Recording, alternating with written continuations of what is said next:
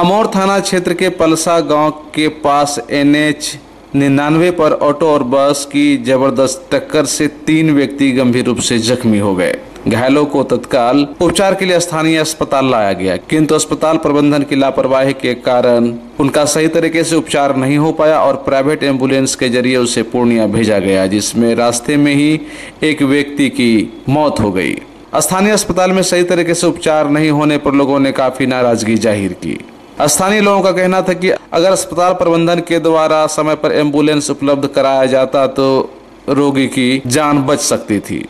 किंतु ऐसा नहीं किया गया। अमोर रेफरल अस्पताल में इलाज के नाम पर सिर्फ़ खाना पूर्ति हो रही है और कई मरतबा इस तरह की घटनाएँ हो चुकी हैं। इसके बावजूद अपने कार्यकलाप में सुधार नहीं ला रहा है। शेष दो व्यक्ति का उपचार पूर्णिया के सदर अस्पताल में किया जा रहा है। यहाँ तीन दस में लेके आया गया गाड़ी में उसके बाद उसको फ़र्स्ट एड किया गया। उसको जितना भी इंजेक्शन लगना था जी। एक्सा वगैरह फिर फिर वैक वगैरह करके उसको बाँध दिए। यहाँ काटने का तो सुविधा है नहीं कि काट के उसको पैकिंग किया जाए। इसलिए उसको रिफ़र कर दिया गया सदर हॉस्पिटल लेकिन गाड़ी एंबुलेंस नहीं रहने के कारण उसको थोड़ा सा लेट एंबुलेंस कहाँ है अभी? एंबुलेंस पूर्णिया में है। क्या पेशेंट ले गया है? पूर्णिया ले गया बोले कि गाड़ी खराब हो गया जमा कर दिया। अभी कोई वैकल्पिक व्यवस्था हॉस्पिटल में नहीं है? नहीं अभी कोई वैकल्पिक दोनों पैर की स्थिति से क्या पता चल रहा है कि पैर मतलब काटना ही पड़ेगा? दोनों खत्म